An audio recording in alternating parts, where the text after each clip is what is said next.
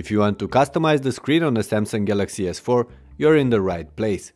Hey everyone, this is Mike and in this clip I'm going to give you some home screen customization tips and tricks, starting with the basics and continuing with more advanced methods, like using launchers, custom widgets and so on. First, you get a couple of basic ways to switch between home screens on the S4.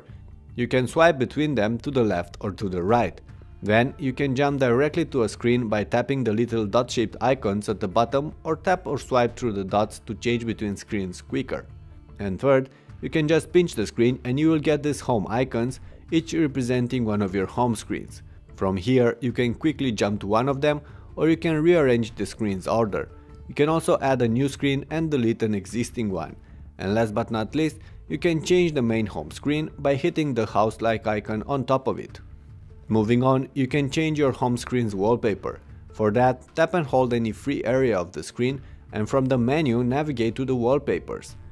Here you can pick between your regular wallpapers, the animated live ones or just choose any pictures from the gallery. You can't assign different wallpapers to each home screen by default but you can do that if you're using a launcher.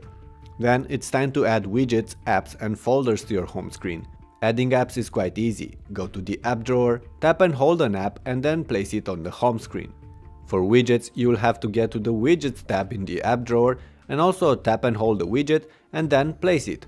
You can also press and hold an existing widget to be able to remove it from the home screen or to resize it if it allows it. Last but not least, in order to create folders, you just have to hit the menu button on any home screen and tap add folder and after that just drag and drop the applications inside that folder. Of course, these are just some basic home screen customization tips. You can also download new themes and widgets from Google Play, but if you want to fully change your S4, you'll have to install some launchers.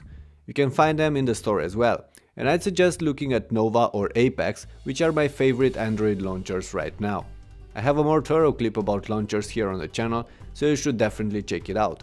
But long story short, launchers allow you to change the grid size of your home screens, to overlay apps and widgets, to add different animations when changing between home screens, to customize the row of dock tabs at the bottom and many other.